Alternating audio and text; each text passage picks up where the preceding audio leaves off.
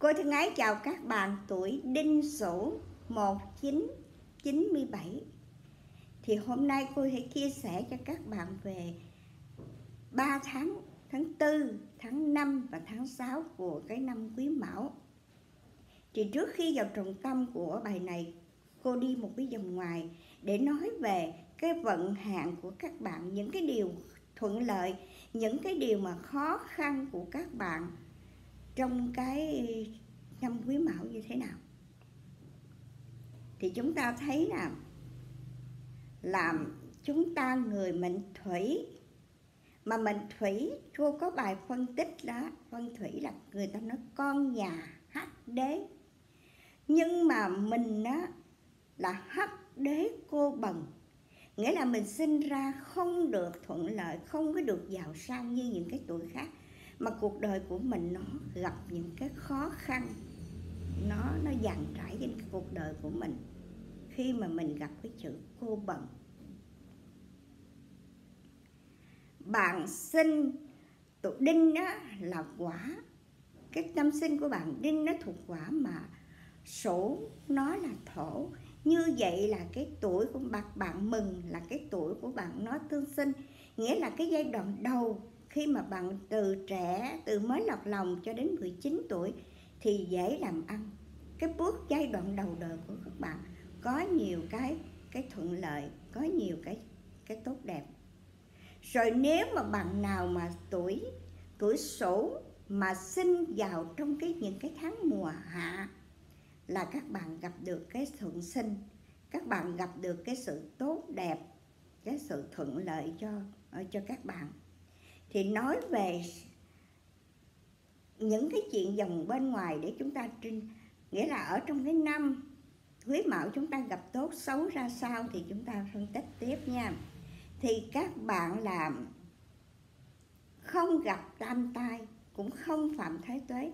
Như vậy là nó tốt đẹp, nó thuận lợi, hai cái điều tốt đẹp cho các bạn. Nhưng mà các bạn vật vấp phải cái vận niên năm của mình là trư phùng quả nghĩa là mình làm cái việc gì nó lợi lộc thì để đem lại, mình hy sinh cái thân mình để làm miếng mồi ngon cho người khác.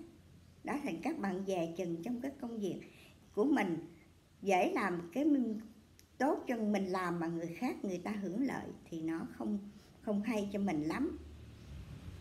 Rồi, xét về sau thì nam có sao mộc đức và hạng quỳnh tiền mộc đức là một cái sao tốt, một cái sao về phúc đức, như vậy nó có thể giải quá. Những cái xấu khó, khăn của bạn trong cái năm. Nữ thì có sao thủy diệu và hạng toán tầng thủy diệu cũng là một cái sao ở cái mức độ nhẹ thôi, trung tinh, không có gì khó khăn cho mình. Mình chỉ cần là đi, tránh đi xa, tránh những cái công việc mà nó liên quan đến cái vùng sông nước thì nó nó không tốt còn về hạng thì hạng quỳnh tiền với hạng toán tầng hạng nào cũng là hạng xấu. Đã nói hạng là nói xấu, thì mình phải cẩn nhận. Với cái hạng của mình thì mình phải cẩn trọng về vấn đề sức khỏe của mình, tránh những cái tai nạn khi chúng ta đi xa. Chúng ta tránh về chừng cái tai nạn và chúng ta cẩn trọng trong cái vấn đề tiền bạc của mình có thể bị thất thoát trong năm. Nghĩa là mình phải chủ yếu về sức khỏe của mình nè. à chủ yếu về cái vấn đề tài chính của mình. Mình phải cẩn trọng trong cái cái vấn đề sức khỏe và là tài chính của các bạn.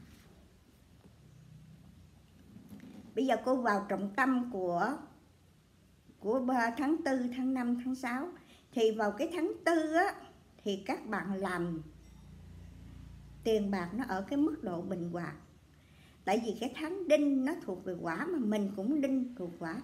Nghĩa là cái tiền bạc của mình nó nó không lên, không xuống ở mức độ trung bình, không khó khăn gì. Về cái công việc mình nó thì là cái tháng tam hợp tuổi của mình. Sức khỏe thì nó bình ổn.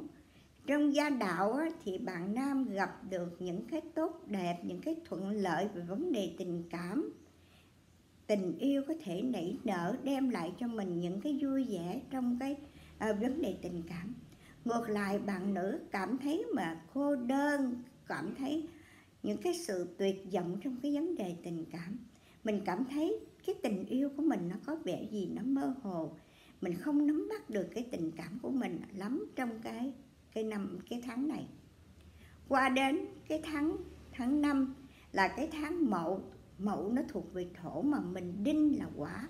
Như vậy là cái tháng sinh xuất sinh xuất nghĩa là mình làm ra đồng tiền mình phải lo toan mình phải bao tròn cho người, người chuyện này chuyện nọ. Thí dụ như mình mình phải đi đám cưới đám hỏi nè mình phải lo cho bạn bè có người bệnh người thân có người bệnh thì mình phải lo đi thăm hỏi. Mẹ là mình tốn những cái đồng tiền mà nó ngoài cái dự tính của mình mà mình phải chi ra vì nhân nghĩa, vì mình phải lo lắng cho người khác, mà mình phải tốn tiền, tốn bạc. Cái công việc của tháng này mình cảm thấy nó hơi mơ hồ, nó nó không được tốt đẹp, nó nó không được thuận lợi cho mình lắm trong cái vấn đề công ăn việc làm. Sức khỏe thì các bạn cần chú ý cho sức khỏe của mình nha. Tháng này sức khỏe nó không phù, nó không hợp với mệnh của mình cho nên mình cần chú ý cái sức khỏe của mình. Về tình cảm của nam của nữ trong cái tháng tháng năm này có những cái chuyện buồn bực có những cái chuyện mà à, người ta đơm đặt người ta nói xấu làm cho mình cảm thấy bực tức mình có phải khó khăn về vấn đề tình cảm. Mình cảm thấy không được thuận lợi cho mình lắm. Qua đến cái tháng tháng 5 à tháng 6 tháng 6 là sáng kỹ nó kỹ thuộc về thành thổ. Mà mình đinh quả như vậy, tiếp tục là một cái tháng sinh xuất. Mình phải lo toan, mình phải bao tròn cho người khác. Cho nên tiền bạc của mình không được dư giả, không được ừ, thông thả mấy nha. Công việc thì nó trở lại cái mức bình ổn rồi. Sức khỏe thì các bạn chú ý, đây là cái tháng không tốt cho mình. Tại vì là mình là mình người mệnh thủy mà gặp cái thắng quả, cho nên nó không thuận lợi cho mình, không tốt đẹp cho mình. Thành ra mình phải giữ gìn cái sức khỏe của mình trong cái tháng. Giữa tình cảm của nam, của nữ trong tháng thì nó lại được cái sự tốt đẹp, được thuận thuận lợi. Nghĩa là mình thấy cái cuộc đời mình về vấn đề tình cảm, nó trải qua hồng trước mắt của mình nha. Có rất nhiều chuyện để đẹp đẽ về vấn đề tình cảm cho mình như vậy là qua 3 tháng 4 tháng 5 tháng 6 thì bạn có một cái tháng bình hòa về tiền bạc. Hai tháng tiền bạc của mình phải chi ra nhiều. Nhưng mà đây là cái chuyện ân nghĩa, đây là cái chuyện bắt buộc mình phải chi ra. Mình không thể nào mình tránh né được các bạn. Nhưng mà nếu mà chúng ta chi ra những cái đồng tiền ân nghĩa thì nó là một cái điều tốt đẹp chứ chúng ta không nên so đo quá về vấn cái đề này. Về tình cảm, thì nam có được cái tháng tư và tháng 6 được tình cảm được tốt đẹp. Nữ thì được cái tháng cua tháng 6 thì được tốt đẹp. Còn hai cái tháng kia là mình có vấn đề về tình cảm. Thì các bạn cố gắng làm sao chúng ta giữ gìn cái sự bình an cái sự thuận lợi tốt đẹp cho tiện đề tình cảm của chúng ta nha. Thì bài chia sẻ đến đây là hết. Thì cô thân ái chúc các bạn cùng gia đình được vui vẻ mạnh khỏe và nhiều sức khỏe. Nếu các bạn thương thì các bạn hãy bấm like và um, đăng ký kênh để ủng hộ cô để cô có nhiều động lực để mà làm tiếp những cái video cũng uh, cống hiến cho các bạn nhé thân ái chào các bạn.